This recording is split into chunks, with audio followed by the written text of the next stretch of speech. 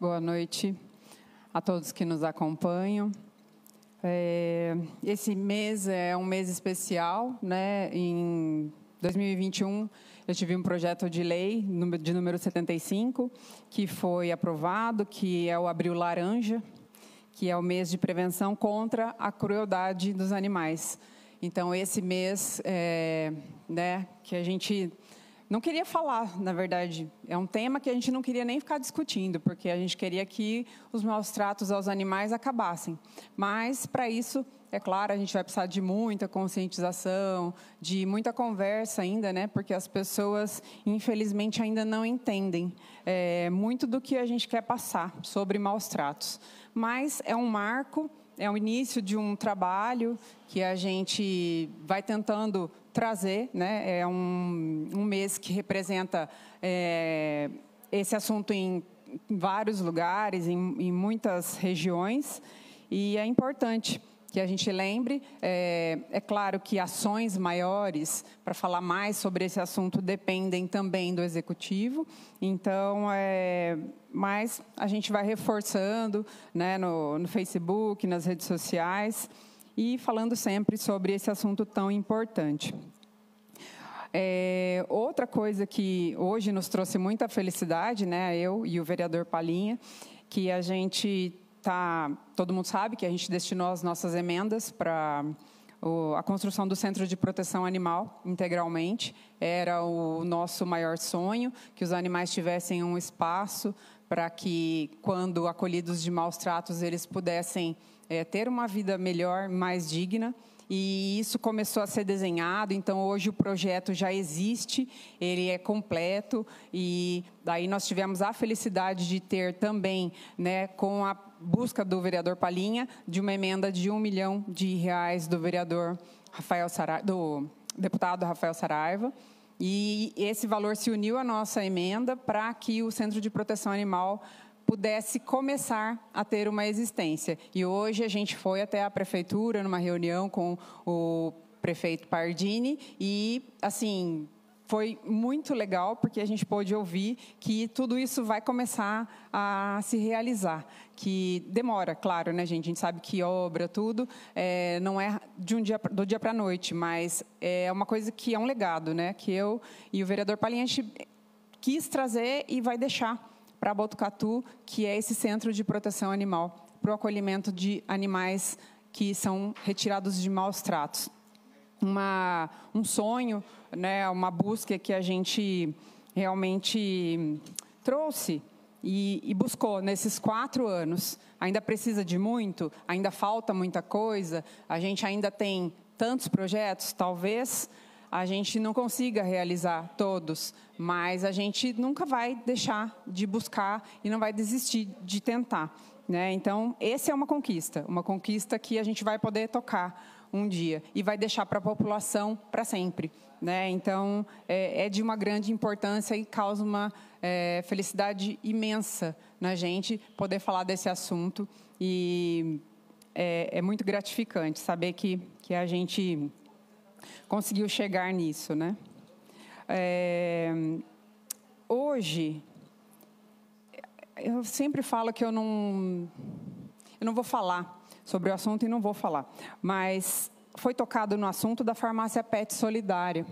E aí eu queria falar sobre isso, né? É claro. É, todo projeto de lei ele vem para hum, agregar, agregar coisas ao município, trazer ideias que às vezes a gente vê fora de Botucatu, como é, vários projetos de lei, o nosso projeto de lei né, que, que veio do Executivo, que é a proteção animal, hoje é copiado por vários, várias cidades aqui da região. Então, assim, projetos de lei, eles não são desnecessários, eles são super importantes. Né? Desnecessário é quem se torna vereador e não faz projeto de lei. Isso sim é desnecessário. Então, assim, a pessoa falar que não é importante é porque não sabe o que está falando, né, gente? É, tá aqui só para enfeitar cadeira, mesa, tudo bem, vaso. Aí, a gente tem um projeto super legal, que é a Farmácia Pet Solidária. Ela depende de doação de medicamentos, só que ela também depende de um local, E, principalmente, a maior dificuldade que a gente tem hoje em Botucatu, que é o voluntariado. Então, assim, o remédio não vai chegar no local e vai se separar sozinho, vai ser entregue para as pessoas sozinho. Ele precisa de alguém para separar, de alguém para entregar. As pessoas, para retirarem os medicamentos, elas precisam de receita, então não é qualquer pessoa que retira. Então, é um processo grande, mas o projeto de lei está ali e ele vai existir, né? É para o benefício da, popula da população, assim que encontrar um caminho e pessoas que se engajem nisso, porque assim as pessoas falam muito, né, é, sobre o que fazem e tal, mas ninguém também se propôs a tentar ir lá ajudar. Então, é, é uma ideia legal, é um projeto maravilhoso que já existe, só precisa ser colocado em evidência. Mas, para que a população entenda, é, a Liga do Bem, assim como outros protetores e outras pessoas, também fazem esse trabalho já do, da farmácia PET solidária, independente do projeto de lei. Então, se uma pessoa precisa de um medicamento, e é o que tem acontecido muitas vezes, ela tem procurado as ONGs, as pessoas, para tentar conseguir esses medicamentos. Não é fácil, porque os medicamentos mais utilizados são os que menos são doados, né? E então muito difícil ajudar. E as pessoas elas é, procuram também remédio para carrapato, que é um remédio bem caro. Então algumas coisas nunca vai ser possível ajudar. E algumas é possível fazer isso, mas como eu falei, precisa do voluntariado, precisa disso. É, além de, desse projeto, que é um projeto de lei, nós também temos vários trabalhos voluntários, eu tenho postado isso esses dias e já há algum tempo, nós temos o projeto lá que, é, que eu trabalho assim, realmente, eu ponho a mão na massa, que é o projeto Vira Latinhas, né, que a gente arrecada latinha de alumínio, lacre, para vender e transformar em ração, medicamento, e também o de tampinhas plásticas. Todo, na verdade, todo o material que as pessoas consideram lixo, a gente considera né, um meio de transformar em ração. E aí também agradecer e parabenizar a, o pessoal do Colégio Anglo, porque eles estavam ensinando para as crianças, né, uh, despertando uh, o interesse nos cinco R's da sustentabilidade, que é reduzir, reutilizar, reaproveitar, reciclar e recusar. Então, assim, super legal a ação que eles fizeram. Arrecadaram muitas tampinhas, muitos lacres, muito.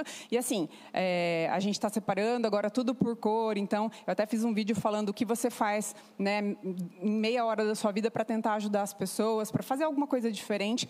E eu já consegui separar muitos quilos de tampinhas por cor, porque quem faz isso sabe que quando separa por cor acaba vendendo por um valor mais alto e acaba ajudando mais pessoas e mais animais. Eu falo mais pessoas porque quando a gente tira as tampinhas da natureza, a gente está ajudando as pessoas. E quando a gente tira as tampinhas da natureza, a gente vendendo está ajudando, no meu caso, os animais, que a gente compra ração, compra medicamento. Então, é, tudo isso, todo, todo esse trabalho é muito importante, mas tudo envolve voluntariado. Né? Para tudo, a gente precisa de pessoas que se engajem em fazer. Então, também é um projeto de lei meu, né? super importante, que é o Dia do Voluntariado. Então, assim, a gente fala, fala muito, mas não vê ação. A gente não vê as pessoas fazendo, a gente só vê as pessoas falando. É muito fácil, né? Vai lá para o Facebook, joga nas costas do outro, fala, ah, por favor, vem aqui e faz, por favor, vai ali e recolhe, vai lá e, e vende. Então, assim, é fácil, só que tirar um tempo do seu dia, do seu tempo tão precioso, isso vale muito. E as pessoas às vezes não percebem esse valor. Então, assim, as pessoas ficam falando, ficam é, atacando, mas não se dispõem a tirar um minuto da vida para fazer algo bom para alguém. Né? E denegrir as pessoas é fácil.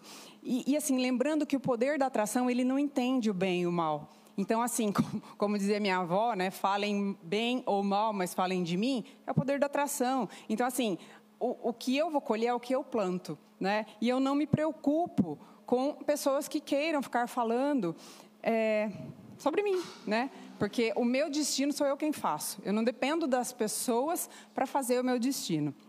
E, assim, só para concluir, né? É, esse senhor que agora, como eu falei, virei oração na boca dele toda semana, é, o senhor vai aguardar a resposta judicial, né, que o senhor fez junto aí com seu amigo, porque lembrando que vocês dois são insignificantes para mim, e para a Liga do Bem.